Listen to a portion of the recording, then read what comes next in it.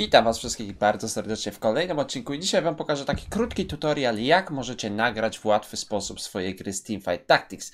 E, do tego będziecie potrzebowali aplikacji, która nazywa się Game Summary. E, wiele osób z Was może wiedzieć, co to jest za apka, bo była ona często używana w normalnym League of Legends, ale zaczęli oni też nagrywać gry z Teamfight Tactics. I o co chodzi w tej aplikacji? E, ta aplikacja znajduje się na platformie Overwolf. Z tamtej, z tamtej platformy możecie też pobrać TF Tactics, które pokaże Wam jakie itemy możecie złożyć e, podczas gry. Ale jeżeli chodzi o highlighty, to naprawdę niesamowicie fajna aplikacja, która nagrywa w wysokiej jakości, e, co tylko sobie zażyczycie. Tutaj możecie sobie wybrać, e, w jakie wideo są złapane przez Was, jakie screenshoty, poustawić sobie to na hotkeyach do tego e, zwycięstwa, rundy z minionami, rundy z ludźmi oraz gdy skończyliście grę. To wygląda w ten sposób, że rundy, które są zaznaczone ptaszkami, to są oczywiście rundy, które wygraliście e, i ta aplikacja w sumie pokazuje wszystko. Bardzo fajnie nagrywa ostatnie 35 sekund danej walki. Tutaj na początku się troszeczkę zacina. To jest moja ostatnia gierka. Z dzisiaj tylko jedną zagrałem i fajnie to pokazuje. Tutaj Wam pokażę w full screenie. Naprawdę wysoka jakość tych nagrań i wszystko jest tutaj e, pokazane. Z kim graliście, jakie mogliście postacie kupić w danym momencie. E, po prostu przechwytuje wasz ekran z ostatnich walk i fajnie jest to w sumie wszystko pocięte, czyli nie musicie e, sami wycinać tych 30 sekund między walkami co grę, tylko po prostu wrzucić sobie właśnie takie już nagrane 30-sekundowe filmiki, jeżeli chcecie stworzyć wideo z highlightami z TFT albo macie jakiś fajny moment z jednej walki, to to po prostu będzie nagrywało wszystkie wasze gry i jeżeli wiecie, kiedy zagraliście daną grę, to możecie sobie bardzo łatwo wrócić do tego momentu. E, tutaj co jeszcze macie pokazane, to są takie staty, które były częściej używane do LoLa, raczej one się e, nie przenoszą. Mm, tutaj właśnie playtime pokazuje, tutaj większość e, statystyki z Coming Soon, czyli jeszcze raczej nie są one włączone.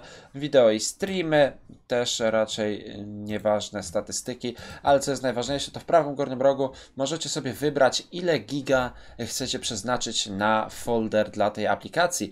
Jeżeli wasze pliki zaczną przekraczać e, daną wartość folderu, którą sobie ustawiliście, czyli na przykład dla mnie to jest 50 giga, jeżeli 50 giga zostanie przekroczone, to najstarsze gry po prostu zostaną usunięte, czyli e, moja najstarsza gra jest z tej aplikacji 7 października. Tam miałem 4 mecze rozegrane.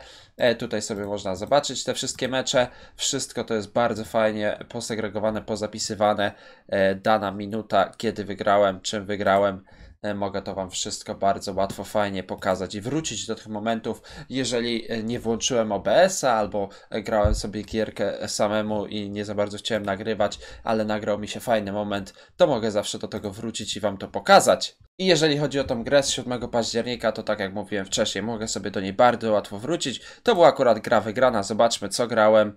E, tutaj było czterech wildów, trzech asasynów, trzech shapeshifterów, dwóch hextechów. Taka w sumie bardzo popularna kompozycja e, w tamtym patchu.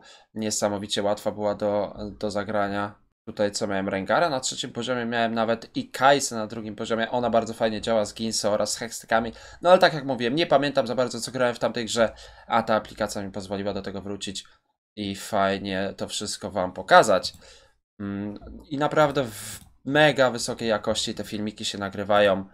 E, tutaj wygrałem z tym przeciwnikiem. Tu była kolejna gra, e, gdzie grałem e, Brawler z Jinx, jeżeli dobrze pamiętam, i dwa razy Blitzcranka. To też było całkiem ciekawe ustawienie. Tutaj walczyłem versus różne kompozycje.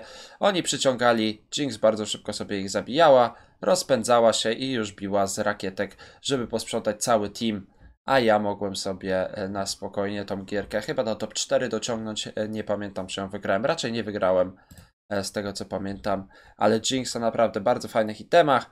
Reszta kompozycji też tutaj fajnie działała i tutaj chyba odpadłem już. Przeciwnik miał Swaina na drugim poziomie. Moja Jinx za daleko pobiegła.